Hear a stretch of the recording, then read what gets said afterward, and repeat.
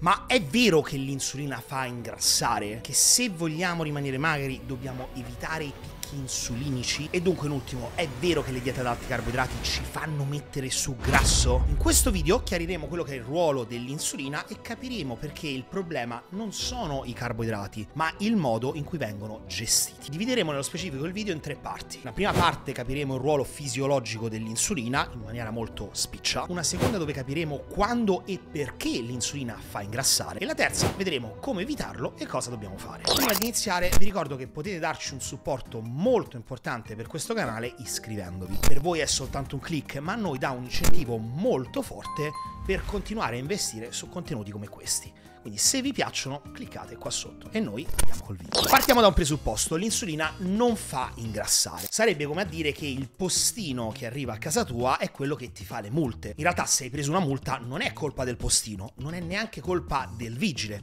La colpa è la tua che hai fatto un'infrazione del codice della strada. Allo stesso modo non è l'insulina a farti ingrassare e non sono neanche i carboidrati. Ingrassi se mangi male, se non hai un'alimentazione bilanciata. L'insulina in realtà per il nostro corpo è fondamentale fondamentale proprio per sopravvivere, al punto che i diabetici che non producono insulina devono iniettarsela per via esogena. Ma cos'è allora questo ruolo dell'insulina? Cosa fa l'insulina? Ecco, il suo ruolo è quello di mantenere un'omeostasi della glicemia. Capiamolo meglio. Immaginiamo che questa sia la nostra cellula. Quando mangiamo dei carboidrati sta arrivando del glucosio. Ora, questo glucosio quando entra nel nostro torrente ematico, quindi nel nostro sangue, di per sé non può rimanere là, perché andrebbe in giro a causare tanti danni fino a farci di base morire. Oltre a questo, il glucosio è importante per la sopravvivenza della cellula, nel senso che affinché la cellula vada a espletare le sue funzioni ha bisogno del glucosio. Il ruolo dell'insulina è proprio far questo, cioè fare in modo che il glucosio entri nelle cellule. E come fa? Questi puntini blu che vedi sono i GLUT4, sono dei recettori del glucosio. Immagina come dei ciuccetti che vanno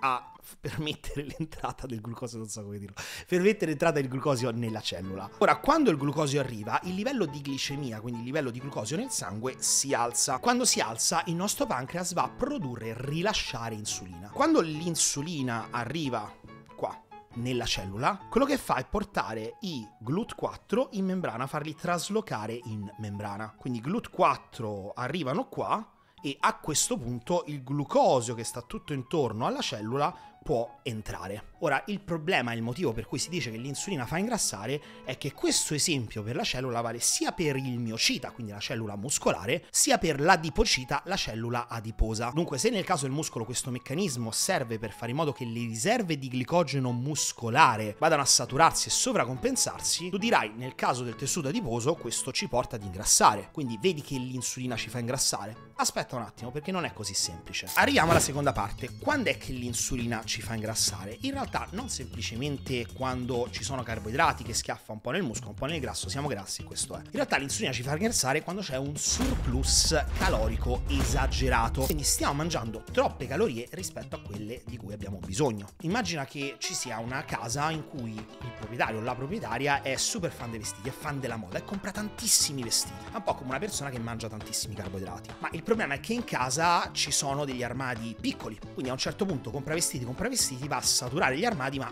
rimangono dei vestiti in giro. È esattamente come nel caso in cui mangio carboidrati, mangio carboidrati, mangio tante più calorie rispetto a quelle di cui ho bisogno e ci sarà un eccesso. Ora, nel caso dei vestiti, non so che cosa si fa, si comprano più armadi, si mettono da una parte, si danno in beneficenza. Nel caso delle calorie, noi abbiamo una scorta, un deposito che possiamo aumentare, che è quello del deposito adiposo, che tra le altre funzioni serve proprio a questo, a un tessuto, uno storage di energia di deposito. E quindi ingrassiamo. Ma non sono i carboidrati nello specifico, sono in realtà il fatto che abbiamo tante calorie, troppe, che se noi idealmente mangiassimo tanti carboidrati ma fossimo sotto il nostro fabbisogno energetico, allora insulina o non insulina noi non ingrasseremmo. Ok, perfetto Ludo, quindi non ho capito, sono i carboidrati, sono le calorie, sono i grassi, cos'è che ci fa ingrassare? Ecco, in realtà tra carboidrati, grassi, calorie, i carboidrati sono proprio quello che ci fa ingrassare di meno.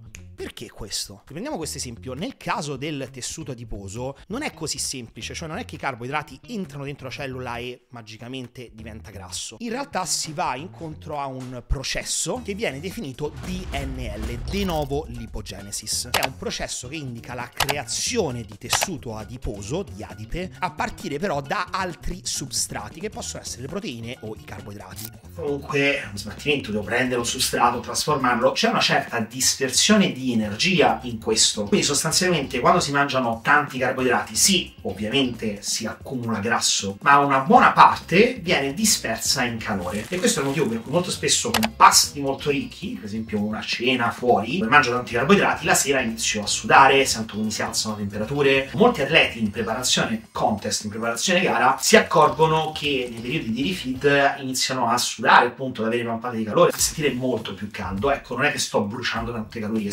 semplicemente che c'è una buona dispersione in calore. Dunque, da questo tiriamo fuori tre punti importanti. In prima battuta non ingrassiamo quando mangiamo troppi carboidrati, ma ingrassiamo quando mangiamo troppe calorie. Il bilancio energetico è il primo fattore che determina se ingrassiamo o meno. Seconda battuta, ingrassiamo soprattutto perché quando ci sono tanti carboidrati e tanti grassi in giro, il nostro corpo prende i grassi e li utilizza direttamente come substrato di riserva, quindi trasforma in grasso, e sceglie di utilizzare i carboidrati come substrato energetico primario. Questo perché da una parte i carboidrati sono molto più efficienti nel creare energia, che è una creazione di energia molto più rapida, dall'altra, come abbiamo visto, vogliamo mantenere un'omeostasi glicemica, quindi vogliamo smaltirli il prima possibile nella maniera più intelligente possibile. In seconda battuta, convertire i grassi in grasso è molto più facile, quindi utilizzare i carbo come energia e utilizzare i grassi come substrato di deposito è la maniera più efficiente in cui il nostro organismo può organizzare le cose. Come si suol dire, non è la pasta che fa ingrassare,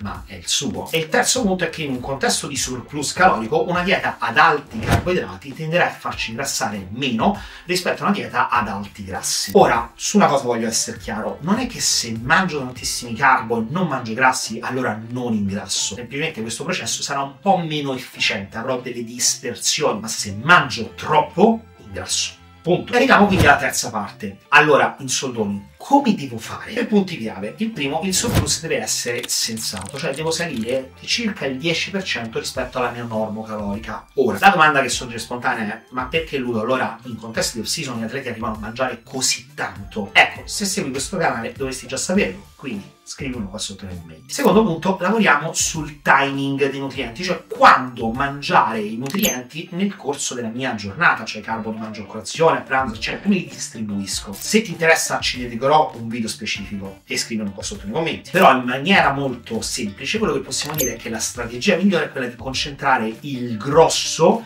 dei carboidrati tra il pre, l'intra e soprattutto il post workout. Questo perché l'allenamento ha un processo insulino-mimetico, quindi sostanzialmente mima l'azione dell'insulina, quella che abbiamo visto prima, traslocazione di GLUT4 in membrana, ma lo fa in maniera specifica del tessuto muscolare, quindi non sul tessuto adiposo. E questo logicamente è un processo normale che da un punto di vista evoluzionistico ha senso perché l'allenamento ci porta una forte spinta del sistema simpatico, porta alla produzione di tanti ormoni controinsulari, quindi tende ad aumentare la glicemia e quindi il nostro corpo, dal momento che questa glicemia aumenta in assenza di insulina, deve trovare un modo per smaltirla e per far nutrire il muscolo. Ecco, il modo è proprio questo, quello di avere questa azione insulino-mimetica. Quindi concentrando i carboidrati a ridosso dell'allenamento, io avrò una via preferenziale degli stessi verso il tessuto muscolare a scapito di quello a riposo. E l'ultimo punto, manteniamo il cardio, l'attività cardiovascolare e il NEAT, un certo grado di attività fisica. Stiamo sugli 8-10 mila passi al giorno. Io lo misuro qua con il Glory Coringa lo sapete già, ne ho parlato spesso, che personalmente trovo più comodo un orologio, è preciso, misura BPM e mi mette tutto quanto nella mia app, mi dà tutti i dati, passi, battiti cardiaci, HRV, livelli di stress, eccetera, eccetera. Mantenerci attive ci permette di migliorare quello che è il partizionamento dei nutrienti, in particolare la gestione degli stessi. Quindi, di nuovo, sempre cercare di utilizzare i carboidrati come substrato energetico, andare a veicolarli principalmente verso il tessuto muscolare e meno verso quello adiposo. E oltre a questo ci fa stare meglio, ci carica di endorfine, ci permette di migliorare la salute gastrointestinale, di gestire meglio, proprio di digerire meglio quello che mangiamo. Questi sono tre punti fondamentali in cui possiamo racchiudere tutto quanto. Ragazzi, se questo video vi è piaciuto, ricordatevi di iscrivervi al canale, commentate qua sotto qualsiasi dubbio, sarò lieto di rispondere e noi ci vediamo al prossimo video.